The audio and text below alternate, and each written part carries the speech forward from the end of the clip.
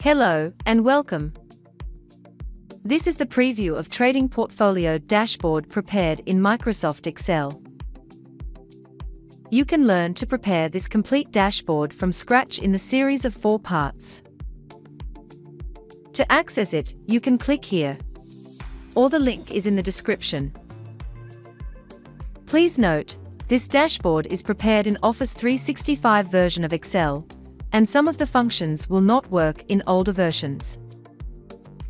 Let's have a look at the dashboard.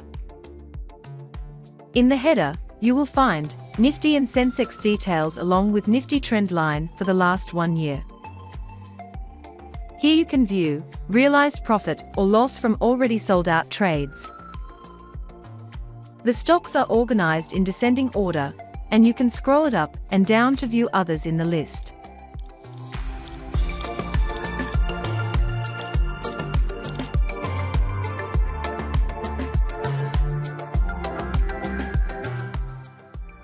These are the three option buttons, which will enable you to view profit or loss from intraday trading, delivery trading, or overall, that is together for intraday and delivery.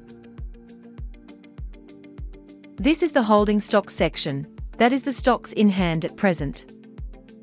Where you can view stocks names, quantity details, investment details, current market status. And at the end, unrealized and realized profit or loss with these stocks.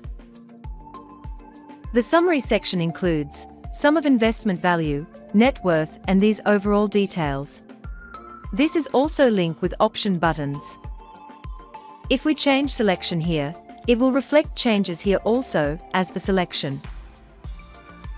And down below, you can view, out of total holding stocks, how many are in profit, and how many are in loss. And that is also for the day and overall. And the last section is industry-wise holding, that is sector or industry-wise value contribution. With the help of option buttons, we can switch between investment and current market. Let's have a look at the other sheets too.